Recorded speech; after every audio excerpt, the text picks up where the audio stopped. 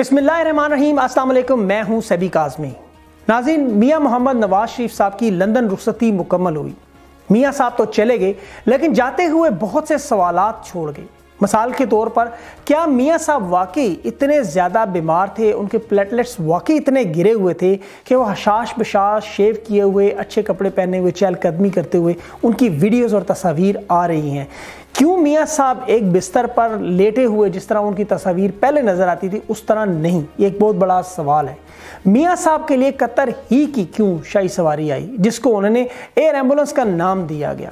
پھر یہ کہ کیا میاں صاحب ڈیل کر کے گئے ہیں؟ کون سے ادارے نے انہیں اجازت دی؟ اور سب سے بڑھ کر کہ کیا میاں صاحب چار ہفتوں کے بعد واپس آئیں گے یا نہیں؟ عمران خان صاحب، وزیر اعظم پاکستان نے ایک تقریب میں چیف جسٹس آصف کھوسا صاحب کو براہ راست مخاطب کرتے ہوئے کہا ذہین چیف جسٹس ہے میں ان کی بڑی رسپیکٹ کرتا ہوں چیف جسٹس کھوسا کی۔ اور آنے والے چیف جسٹس گلزار، ان دونوں سے میں آج کہنا چاہتا ہوں کہ ہمارے ملک کو آزاد کریں، انصاف دے کے۔ یہ جو پرسپشن بنی ہوئی ہے پاکستان میں کہ طاقتور کے لیے ایک قانون اور کمزور کے لیے دوسرا۔ یہ ہماری تاریخ رہی ہے۔ یا طاقتور ٹیلی فون کر کے فیصلے لکھواتے رہے ہیں۔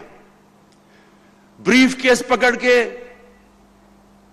ایک چیف جسٹس کو انہوں نے فارغ کروا دیا۔ جس کے جواب میں چیف جسٹس نے ایک تقریب میں ہی کہا۔ طاقتوروں کا تانا یہ ہمیں نہ دیں ہمارے سامنے کوئی طاقتور نہیں ہے، ہمارے سامنے طاقتور صرف قانون ہے۔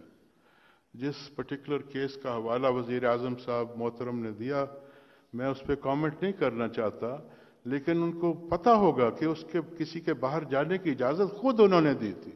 وہ اس کیس پر مزید بات نہیں کرنا چاہتے۔ لیکن شاید عمران خان صاحب نے سات ارب کی شرط بھی رکھی، لیکن ہائی کورٹ نے کس طرح اس شرط کو تبدیل کیا اور ایک کچے پیپر پہ پکا کام کرتے ہوئے وزیر اعلیٰ، سابق جو وزیر اعلیٰ تھے، شہباز شریف صاحب، ان کی شخصی ضمانت پر باہر بھجوا دیا، جو کہ ایک عجیب و غریب اور انوکھا کیس تھا۔ لیکن ہمیں اس چیز کو مد نظر رکھنا ہوگا کہ ہمیں عدلیہ پر اور اداروں پر اتنی تنقید نہیں کرنی چاہیے کہ پہلی دفعہ جو ادارے سیم پیج پر ہیں، وہ آپس میں اس تنقید سے اپنی پرسپشن کو بہتر کرتے ہوئے خراب ہوں۔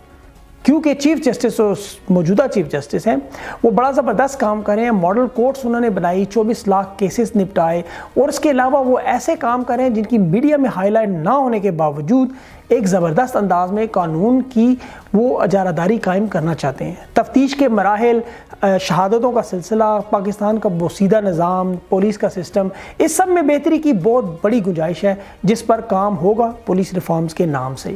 دوسری طرف، چیئرمین نیب نے بھی یہ کہا کہ اب ہواؤں کا رخ بدلے گا۔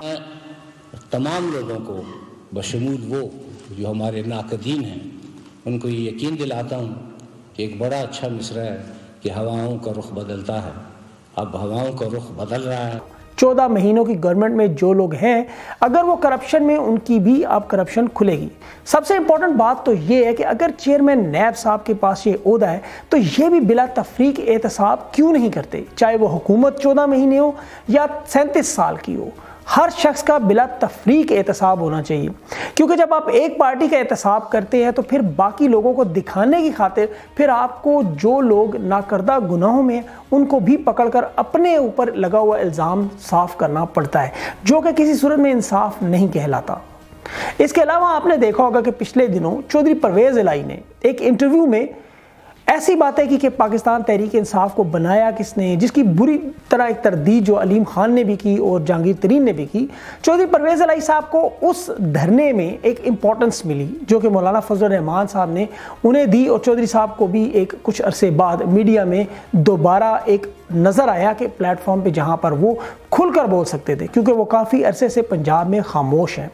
ایسے میں چودھری صاحب بھی بولے اور جان بوجھ کر ایسا اور ایسی باتیں بولے تاکہ ان کے دوبارہ انٹرویو ہو۔ لیکن اب وہ کبھی کان کا درد اور کبھی ناک کا درد اور کبھی دانت کا درد بہانہ بنا کر میڈیا سے چھپ رہے ہیں۔ کیونکہ تردید آ چکی ہے اور دوسری طرف دھرنا والے بھی جب میاں صاحب جیل سے نکلے اسلام آباد سے تو دھرنا ختم ہوا۔ میاں صاحب لندن پہنچے تو روڈوں سے بھی دھرنا ختم ہو گیا۔ تو اس کا مطلب تھا کیا مسلم لیگ نون کے لیے دھرنا تھا؟ ایسے میں ان تمام باتوں میں ہم جو سب سے اہم بات بھول رہے ہیں وہ یہ کہ پاکستان کی معیشت ایک مثبت طرف جا رہی ہے۔ سٹاک ایکسچینج اس وقت جرمنی اور ناروے سے بہتر تین ماہ کی پروگرس کر آپ دیکھیں تو نظر آ رہی ہے۔ آپ کا انڈیکس 38,000 تک پہنچ چکا ہے۔ یہ تین مہینوں کی پرفارمنس سب سے زیادہ ہے۔ آپ کا کرنٹ ڈیفیسٹ جس کا مطلب آپ کی ایکسپورٹ بڑھتی جا رہی ہے امپورٹ کم ہوتی جا رہی ہے۔ دو سو اٹھاسٹھ پرسنٹ فورن انویسٹمنٹ ناروے سے اور چائنا سے آئی۔ یہ تمام وہ اقدامات ہیں کہ جن کی بنا پر آپ کی معیشت ایک زبردست انداز میں بڑھنے کے لیے تیار ہے ٹیک آف پوزیشن میں چلی گئی۔ ایسے میں کیا غریب آدمی کو، عام آدمی کو بھی فائدہ پہنچ رہا ہے یا نہیں؟ پاکستان کے ایک مایا ناز تجزیہ نگار چودھری غلام حسین صاحب، جو کہ اپنے منفرد انداز سے بہت مشہور ہیں ان کے سامنے یہ سوالات رکھتے ہیں اور ان سے پوچھتے ہیں۔ میرے ساتھ رہے، ملتے ہیں ایک بریک کے بعد۔ صاحب، یہ بتائیں کہ ابھی عمران خان صاحب کی طرف سے بھی جو ہم نے دیکھا کہ عدلیہ پر تنقید ہوئی، اس کے بعد چیف جسٹس صاحب کا جواب بھی آیا۔ پھر ابھی نیب کے جو چیئرمین ہیں، ان کی طرف سے بھی ہواؤں کا رخ اور مجنو لیلا کی باتیں۔ تو کیا آپ کو لگتا ہے کہ اب اداروں میں ایک پیج پر ہونے میں کوئی تھوڑی سی تبدیلی یا تھوڑا سا کچھ فرق پڑا ہے؟ نہیں نہیں، اس وقت دو تین چیزیں چل پڑی ہیں نا۔ جی۔ وہ ایک تو پہلے یہ بات ہے کہ جو یہ نواز شریف کو باہر بھیجا گیا ہے نا جس طرح حالات و واقعات پیش آئے ہیں۔ اس سے پوری ملک میں اور پوری دنیا میں جدھر جدھر پاکستانی ہیں، ان کی بہت بڑی اکثریت جو ہے وہ کوئی لانت کر رہی ہے۔ کہ جہاں کوئی نظام نہیں ہے، جس کی جو مرضی ہے، جس کو مرضی خرید لے، جس کو مرضی بیچ دے۔ اور جھوٹ پر جھوٹ جھوٹ پر جھوٹ، اور مبالغہ ہرائی ہے اور ایگزیجریشن جو ہے، اس کے ذریعے پورے ملک میں ایک ہجانی کیفیت جاری کر کے تو یہ حالات جو پیدا ہوئے ہیں۔ اب اس کا جیسے وہ ناکامی اور شکست ایسا ناوارث بچہ ہوتا ہے جس کا کوئی والی وارث نہیں۔ تو اسی طرح اب یہ ہو رہا ہے کہ کوئی یہ ماننے کو تیار نہیں ہے کہ نواز شریف کو یہ ساری رہتے جو دلوائی گئی ہیں، کس نے دلوائی؟ اس وجہ سے ایک اب بال ادھر پھینک رہا ہے ادھر پھینک رہا ہے، ادھر تو یہ اب والی بال ہی بنا رہے گا۔ اس وجہ سے تھوڑا سا تاثر یہ ہے کہ ادارے پیج پر نہیں ہیں، لیکن جو بڑے ادارے ہیں مسلح افواج ہیں اور اس کے ایجنسیاں ہیں اور وزیر اعظم عمران خان کی حکومت ہے، وہ میری اپنی حتمی رائے یہ ہے اور اطلاع کی بنیاد پر اور خبروں کی بنیاد پر کہ وہ ایک پیج پر ہیں۔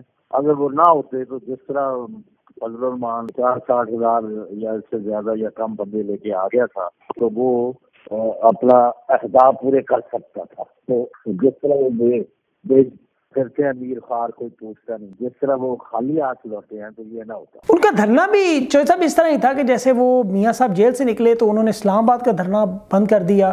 جب میاں صاحب لندن پہنچے تو انہوں نے روڈوں پر وہ جو شروع کیا تھا وہ سارے رکاوٹیں اٹھا دی۔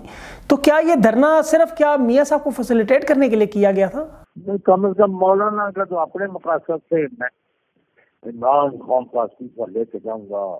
اور یہ یہودیت کا ایجنٹ ہے، فلاں کا ایجنٹ ہے، فلاں ہے۔ اور ساتھ آپ کے کاظمی صاحب، بہت سارے ایجنٹ ہے یعنی دانشوری ملے ہوئے تھے کہ دو دن میں اگر نواز شریف عمران خان استعفیٰ دے دے تو کوئی مسئلہ ہی نہیں ہے۔ جیسے یعنی استعفیٰ لینا جو ہے، اس طرح یہ حالت کر ہے تو وہ تو ان کو تو شکست اس لیے ہوئی ہے، کیونکہ نون لیگ کا مقصد ہی بہت ہو گیا۔ ان کا پورا ہو گیا۔ نواز شریف کو رہائی دلانی تھی دلوا دلو تو باہر چلے گئے تو انہوں نے تو جو پیسہ لگایا تھا، بندے دیے تھے، وہ وڈرا کر لیے۔ صاحب سوشل میڈیا پر تحریک انصاف کا جو ورکر، سپورٹر، حمایتی لوگ ہیں، جو نرم گوشہ رکھتے ہیں، وہ لوگ بڑے مایوس اور پر امید نظر نہیں آ رہے۔ اور اس کے ساتھ ساتھ اگر آپ ان کی دیکھیں ٹویٹس دیکھیں، تو نظر آ رہا ہے کہ جس طرح وہ لوگ حکومت پر گرج رکھتے ہیں، انہیں غصہ ہے کہ عمران خان صاحب نے ان کی بات وہ کیوں نہیں مانی اور میاں صاحب کیوں چلے گئے ہیں۔ تو اس صورت حال میں اداروں پر بھی تنقید وہ کر رہے ہیں۔ انہیں کچھ کہنا چاہیں گے آپ؟ نہیں وہ تو دیکھتے نا، جو ہم ایسے لوگ ہیں، کہ جو عمران خان سے اس لیے حمایت کر رہے ہیں پہلے دن سے، کہ ہم نے ہر طرح سے تسلی کر لی کہ یہ شخص کسی بھی طرح بدیانت نہیں، بد نیت نہیں ہے موقع وطن ہے پاکستان میں بہتری کرنا چاہتا ہے۔ یہ دس بارہ سال سے میں نے ان کا ساتھ دینا شروع کیا اور کبھی پیچھے مڑ کر نہیں دیکھا۔ آج بھی تحریک انصاف کی حکومت ان کی پارٹی ان کا سارا کارکردگی ایک ہی نقطہ ہے کہ عمران خان اس وقت تک بے مانی کا اور باجیتی کا اور لوٹ مار کا کوئی ان پر چارج نہیں ہے۔ ورنہ کارکردگی صفر ان کے بندے نہایت بدنوان اور کرپٹ اور ناہل اور پانچ سو روپیہ نہیں چھوڑ رہے۔ اور کرپشن جو ہے اس قدر بڑھ گئی ہے کہ آپ تو باہر بیٹھے ہیں قانون صاحب۔ اللہ کی پناہ ہے، معاف کرنا، کہ کئی گنا بڑھ گئی ہے تو پھر لوگوں نے عمران خان کی جڑی ہے، ایمانداری ہے اور نیکی کی چٹنی ہے، تو اس طرح کوئی تبدیلی نہیں آتی اچھا چودھری پرویز علائی صاحب نے ابھی ریسنٹلی ایک انٹرویو میں انہوں نے کیا اس طرح یہ کیا بلنڈر اس سے آپ کہیں گے کہ اس وقت تو وہ بولے نہیں، ہمیشہ جب وہ کیا کہا جاتا ہے صاحب کہ لڑائی کے بعد مکہ یاد ہے تو اپنے منہ پہ مار لینا چاہیے، وہ کس طرح یہ باتیں انہوں نے چھیڑ دی ہیں بلی وہ نہیں، وہ جو ہوتا ہے نا کہ جب صورتحال پیدا ہوتی ہے، وہ کچھ دنوں کی چاندنی تھی۔ وہ مطلب فضل الرحمان کے پاس جا رہے ہیں، میں جا رہا ہوں، وہ آ رہے ہیں شاخ جا رہے ہیں، وہ۔ ان کے شاید سارا کچھ ہمارے حوالے ہو گیا۔ تو اب جو یعنی لیٹسٹ یہ پوزیشن ہے کہ چار دن سے چودھری پرویز لائی میڈیا سے چھپتے کر رہے ہیں کہ میرے دانت میں درد ہے تو میں کوئی بات نہیں کر سکتا، کیونکہ وہ غیر ضروری علیم خان نے بھی کہہ دیا کہ میں تو پہلے ہی شامل ہوں مجھے کسی نے نہیں کہا۔ تو اس طرح کی باتیں کرنی نہیں چاہیے۔ پھر دوسرے یہ الزام لگا دیں گے تو یہ پرویز لائی اور شجاعت کو تو مسلم لیگ نون سے تو طارق عزیز جو تھا پرویز مشرف کا سیکٹری جو جاٹ تھا ان کی برادری کا۔ تو ہم ان چکروں میں نہیں پڑتے۔ اپنے قد سے بڑھ کے بندے کو میرا نہیں خیال ہے۔ ارے چوئی اچھا صاحب، ابھی معیشت کی طرف اگر دیکھیں تو مثبت چیزیں نظر آ رہی ہیں، جیسے ٹیکس بھی اکٹھا ہو رہا ہے کرنٹ ڈیفیسٹ بھی کم ہو رہا ہے۔ اس کے علاوہ اگر آپ یہ دیکھیں کہ جس طرح وہ خان صاحب اسٹاک ایکسچینج کی بات کرتے ہیں یا فورن انویسٹمنٹ کی بات کرتے ہیں، کیا مستقبل میں بھی خوشخبریاں ملیں گی؟ کہ غریب آدمی کو بھی وہ سب کچھ ملے گا جس کا وہ حقدار ہے؟ بھائی، ہمارے نزدیک تو ایک ہی خوشخبری ہے، صاف بات ہے۔ اللہ کو جان دینی ہے۔ جب خان صاحب الیکشن جیت گئے تھے اور ابھی وزیر اعظم نہیں بنے تھے تو عمران خان صاحب بیٹھے تھے اور یہ جہانگیر ترین بیٹھے تھے بنی کیلا میں میری ملاقات ہوئی۔ میں نے کہا، خان صاحب، اگر عام آدمی، غریب آدمی کی زندگی میں انقلاب نہیں آتا، بہتری نہیں آتی، تو میرے نزدیک آپ حکومت بنائیں یا کوئی اور بنائے، اس سے کوئی فرق نہیں پڑتا۔ انہوں نے کہا، بالکل ٹھیک ہے۔ اور وہ باتیں بھی یہی کرتے ہیں، لیکن پرابلم ان کا یہ ہے کہ مل ان کو کہہ وہ کہہ رہا یہ کر دو، یہ کر دو، اس کے بعد ان کو پتہ ہی نہیں کہ کیا کیا کسی نے کہ نہیں کیا۔ تو یہ جو ہے، یہ ہٹنا چاہیے مثبت تبدیلی ایک ہی ہے کہ عام آدمی جب صبح اٹھے تو ہمیں پتہ چلے کہ بھائی اس کو کھانے پینے کی چیزیں سستی ملی ہیں، اس کو روزگار کے موقع ملے ہیں، اس کو انصاف ملا ہے، اس کی داد ہو رہی ہے اور اس کے رہنے کو، چھت اور کام کرنے کو حالات موجود ہے تو ابھی تک تو یہ خواب ہی ہے۔